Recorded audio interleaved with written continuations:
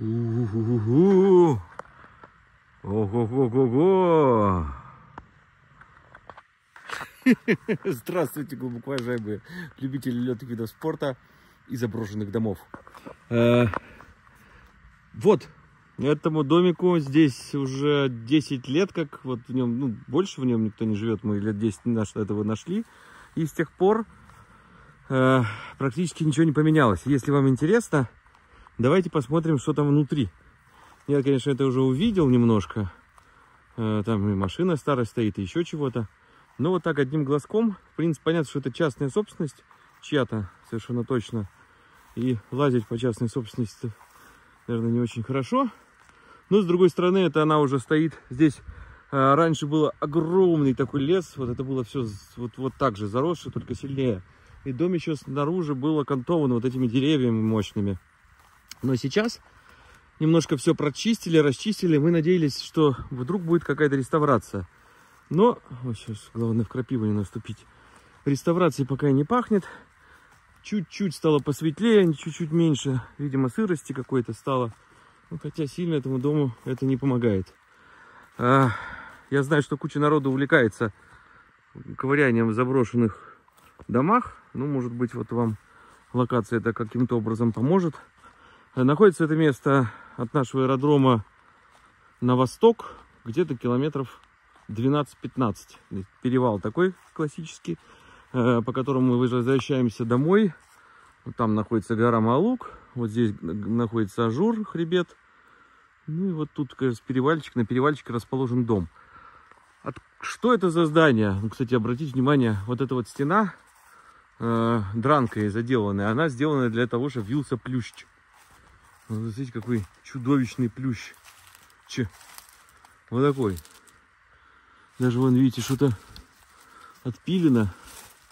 Но в целом это вот такой вот чудовищная штука. Я никогда не думал, что плющ может быть таким гигантским. Дом этот, наверное, с привидениями. Угу! Построен из камня. Но вот здесь уже пошла трещина. То есть это, конечно, очень нехорошо, когда в доме возникает вот такая трещина. Ой, давайте я сейчас телефон сам туда подняться не могу. Вот вы взглядом за меня смотрите туда. Ух, как страшно. А, Самое страшное в таких домах, мне кажется, когда такой дом падает на тебя. И такое вполне может быть, потому что крыша там в совершенно жутком состоянии была еще 10 лет назад, а сейчас того жутчее. Вот это парадное, наверное, было. Такой въезд на каретах. А, кстати, что это за домик? Это французский охотничий домик для того, чтобы высоко поставленные гости из Парижа могли приезжать в Прованс и охотиться в нем. Ну, по крайней мере, так гласит легенда. Что же здесь на самом деле было, не- непонятно. Но вид, конечно, был, наверное, потрясающий раньше. Вот тут какие-то остатки каменного забора. Вот это восточная сторона, то есть отсюда восходит солнце. Здесь мощная дубовая роща, очень красивые платаны. И, конечно, совершенно удивительно, как такой домик мог превратиться в такую помойку. А, я попробую сейчас риском для жизни одним глазком заглянуть вам внутрь. Вы уж там напишите мне в комментариях, какой я отва- отважный молодец или какой я сказочный этот самый. Ну, вот как, да, классическое состояние. Вот. Велосипед старинный французский, пожалуйста. Вот прям бери, да реставрируй. Так. Ну, главное теперь не закончить жизнь в таком странном месте. Да, видите, все обрушивается сверху. Вот висят куски лестницы. Здесь уже рухнули балки. Ну, то есть все, здесь сделать, конечно, по большому счету нечего. Только для жутких маньяков, которые любят... Ну, это очень, очень страшно. Потому что, конечно... О, а это, кстати, не страшно. Смотрите, здесь один единственный зал вычищенный, реально выметенный. И, смотрите, все прям какие-то фрески, колонны. Это уже современное граффити. Но вид- видно, что здесь собираются какие-то любители вот этого всего и, наверное, тусуются. Ух, даже вон плита какая-то стоит. Вот это вполне себе сохранившийся зал. Какая-то колонна. Вот это, представляете, эта балка сейчас сверху на меня, бам, и все. И закончил Игорь Владимирович свое глупое существование. Так, а вот у нас... Макс, ты что здесь делаешь? Вы не боитесь, что крыша рухнет? В этом нет, вот там уже рухнуло. Это... Туся, что ты, что ты скажешь про это Смотри, здание? Устроено окно. А, здание очень старое.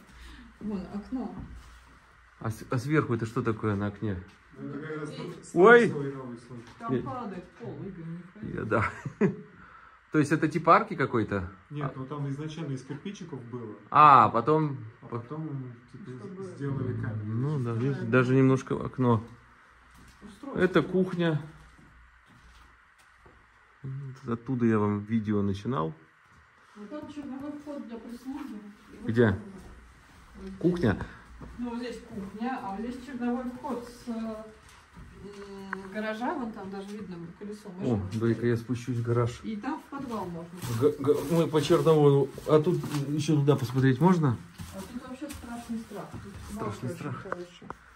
Да, вот это второй этаж, валяются балки. Взгляд на крышу. Ох, рухнет этот домик скоро. Но уже сколько? 10 лет он в таком виде. И пока еще медленно... Ему стало явно хуже. То в том крыле раньше можно было ходить. Ну да. Ну, как жалко. Ну, и вы понимаете, да, что реставрировать такую штуку уже физически невозможно, а снести, построить что-то новое точно не дадут. Ну ну, это денег стоит адских. О! Ситроенчик, в который за хлебушком ездили. Вот. Вполне себе относительно живой Ситроен. Что это такое? Ну какой-то есть вот, слушайте, ну железо, как, как раньше машины делали. Вот здесь миллиметра два как минимум, а то и три. Вот это еще все живое. Сколько лет эта штука гниет, а как новая. Мотор, фильтр, простой карбюратор. На моторе вот это написано. Ой, еще вот это. Ух, огонь аппарат только здесь не убиться. Ну, понятно, что ну, все сгнило, все, что могло. Здесь явно была какая-то то ли лебедка, то ли что-то. Видите, какой-то... А, это, видимо, поднимался... Э, какой-то грузовичок, кузов поднимался у него. Здесь такая фирменная достаточно черепица, наверное, была.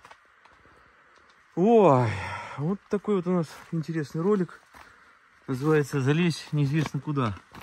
Так, это что у нас? Ну, тут сюда точно, наверное, ходить не стоит. Как пить дать. Здесь как раз вот это подвальное помещение, где держали всякие бочки со вкусным вином. А вот и вкусное вино. Друзья, так не рухнет на меня это все. Не должно. Две бутылки, но, увы, пустые. Ох, явно старые. Что-то здесь, как это у Стругацких, в этом помещении много и вкусно пили и ели. Ну, скажем так, наверное, готовили много вкусной еды. Да, ну вот, вот такой вот развал. Закончим мы в этом месте. Отойдем от дома, чтобы не зацепило. А само здание, видите, вот основа, вот эти камни тесанные. В чем, э, например, в нашем доме есть пару камней. Это вот эти такие колонны, и вот так камень тесали еще в Римской империи. И тесали хорошо, то есть у нас, как это говорят, возьми три французских города, собери один римский. То есть половина э, боковых стен, ну вот таких вот этих как, краев, из римских камней. Но здесь, наверное, уже строили, сами тесали. Ну вот, да, так возводилось, возводился краешек, потом закладывалось все, как вы видите, там камушками бутовыми. Вот кусочек виден, да? Вот, дальше была штука, вот, кстати, бутовый камушек. Дальше вот эта дранка, штукатурка и дранка для плюща. Может быть для красоты, может для плюща. Даже непонятно, зачем это была такая дранка. Может быть на дранке лежал еще один слой какой-то штукатурки, который уже обвалился. Вон края крыши еще вполне себе живые. А! Так что, друзья, вот вам ориентир. Приезжайте, э, так сказать, э, покупайте это шато и будет вам счастье. Представляете, в таком красивом месте среди гор. Вот, и оно, оно явно чье-то, ну, по-другому быть не может. Просто вопрос, что часто, когда э, умирает владелец, много наследников, наследники долго не могут договориться, что же делать с этим домиком. Вот домик приходит вот в такое печальное состояние.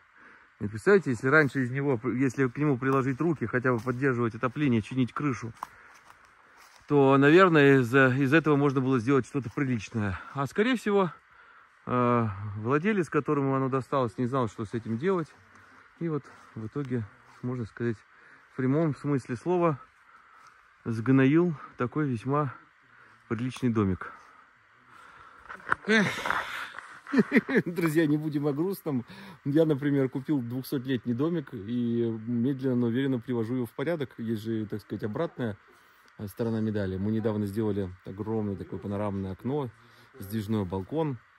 И наш сельский домик, маленький, уютный, хорошенький, не вот такой дворец, э, стремится к званию идеального, автономного и самого красивого дома в Лоботи-Мансильон. Да? Ку-ку! Максим, что ты скажешь про эту машину? Она праворукая. Ну, Она, она там так сломана, не, нет капота, ничего нет.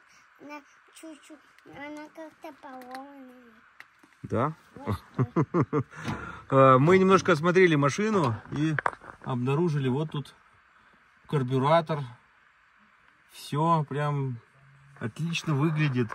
Я не, не удивлюсь, если этот мотор можно взять, вытащить, разобрать, почистить, и он заведется. Алюминиевые детали там вообще целые все. Повторю, что поражает толщина металла. То есть вы видите, это все абсолютно живое, не проржавело за долгие годы. Конечно, вот, ну, видно, бампер чуть-чуть пострадал.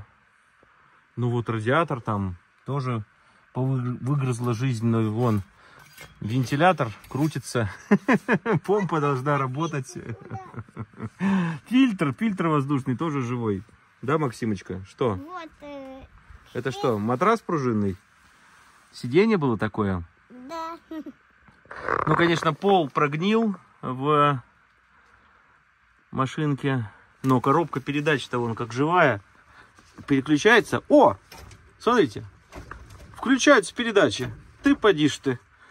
Вот это да. Наверное, и педали работают с рулем. Как ты думаешь, Макс? Работают?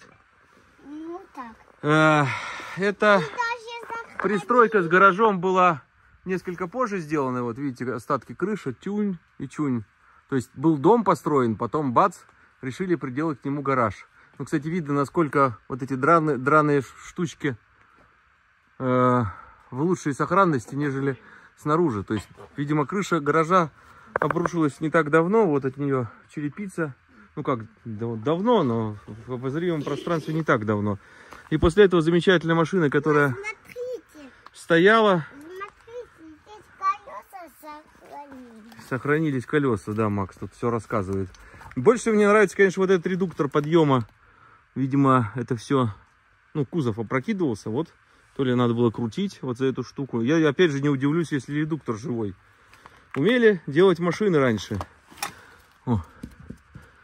Все прям крепко еще. То есть рама сама по себе, которая вот задняя часть, не там, где впереди, видимо, там капать начало раньше. Здесь вон швеллер живее всех живых. Бери, накачивай колеса. Ай-ай! Ай-ай! Зацепило меня. Видите? Бери, накачивай колеса, доезжай. Добрый путь. О, бак есть. Может, там в баке еще и бензин есть. И руль крутится. Вы посмотрите, сколько лет агрегату. Пожалуйста, руль крутится. О, можно открутить и посмотреть предохранители. Ну, предохранители, понятно, все сгнили, но сам факт, что это поставим на место, все-таки чужая собственность. Удивительно, конечно, как хорошо делали машины раньше. Всё, прям я, я поражен. Вот, смотрите, еще раз показываю. Вот я кручу руль, и вот они. О, ходят тяги. Ну, вот внизу ходит Макс. Чак. Смотри, Макс, вот э, редуктор рулевой, вот рычаг. И вот я сейчас кручу руль, редуктор двигает рычаг. Все работает. Представляешь, за сколько лет не испортилось. Смотри, еще есть, еще есть, э, как это называется, Что? штука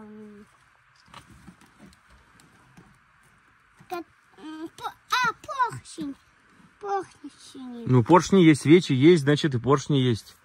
Тут вот все. они поршни, а вот Вот там поршни стоят, да. Радиатор, крышка живая. Вот видите, на Да, каких еще подкосах это все держалось. Макс, осторожно, не упади. Проверяй, как педали работают. О, отлично, педаль работает. Газа. Ну-ка, сцепление проверь. Ой, это вот, вот это, да. Сцепление это вот это. Ведь? Вот это она хорошо. Ну да, да. Давай посмотрю отсюда. Ты понажимай, я посмотрю, что, что тут срабатывает. О, здесь. Что? А, это у нас сцепление, да. Слушайте, работает цилиндр сцепления. Макс, еще выжми сцепление разочек. Выжимай. Ну, тут Макс все подряд выжимает. Ну, все рычаги, видите, двигаются. Я хочу, ты будешь Ты хочешь посмотреть? Макс, не вытирай руки об Да, работает, Газ работает. Тормоз. Тормоз работает. да, И сцепление да, тоже работает. Ну все. Все. Коробку передач мы уже проверили. Можно ехать, да, Макс? Тебе нравятся такие машины старые? А помнишь, я тебе рассказывал историю, как мальчик не слушал папу, взял у него машину и упал во враг? Да, И ты помнишь, где эта машина лежит? да, в, на Рамбре. На Рамбре. А какой ты вывод сделал из этой истории? Что надо слушаться папу. Да, надо слушаться папу. И еще, еще мне приснилось, что машина уехала, а, и, и все детали, которые из нее выпали, они превратились в комок, и въехала м, этот комок в машину. Ну что, друзья, вы понимаете, что главный вывод из этой истории, что нужно слушаться папу и не ходить по всяким заброшенным э, местам без папы. А с папой можно, да, Макс? Макс, что это такое? Стол. Да, друзья, так выглядит обычный столб, в данном случае для проводов, который от времени, вот у него, получается, выкрашился э, бетон. Вот он. Вообще враг всех таких зданий вода. Вот разрушился бетон, а дальше, конечно, несмотря на мощные вот эти вот несущие стержни, все это прекрасно сложилось и упало.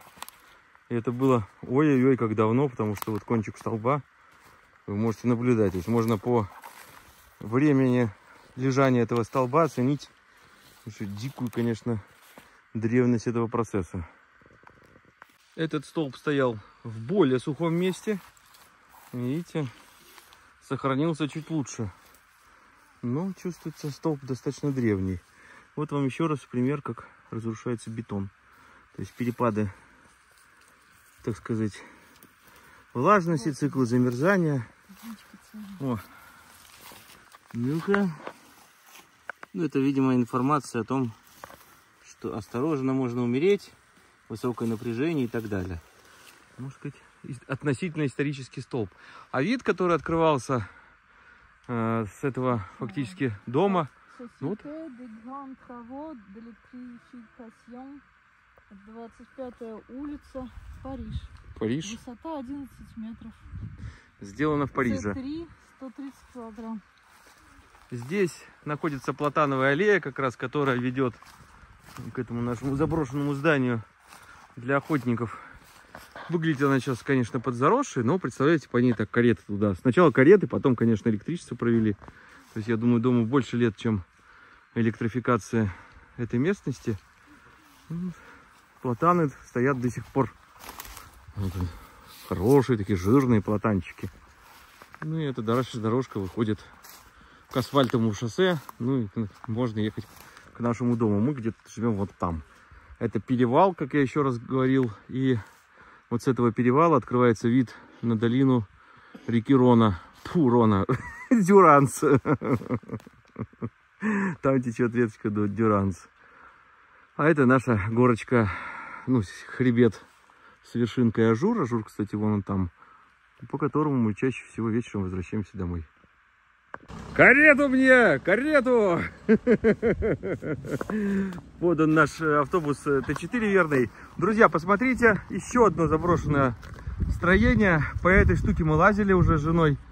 Там офигенно внутри. Там старые ржавые кареты действительно валяются.